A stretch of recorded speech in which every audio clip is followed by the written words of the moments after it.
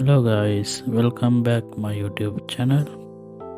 Today i will show you how to install sd card insta360x2 camera.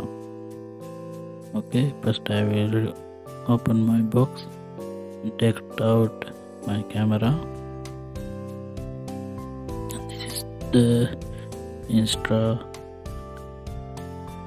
one x2 camera. This is the power button and a speaker then I will remove battery put it clip in the inside battery coming automatically out.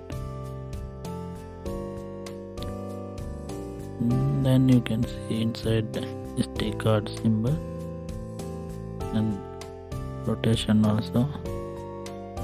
Which side we need to put? SD card this SD card is micro SD V30 type SD card. I am now I am putting the inside my camera.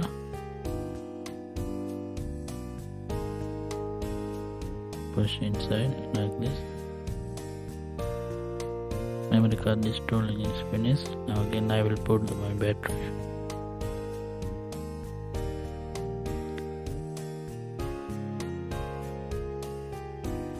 Press enter like that. I will on the power.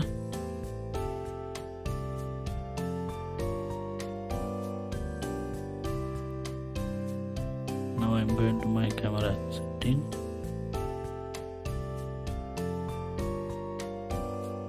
Going down. Select both on. SD card. Open now you can see your memory card capacity already show in the camera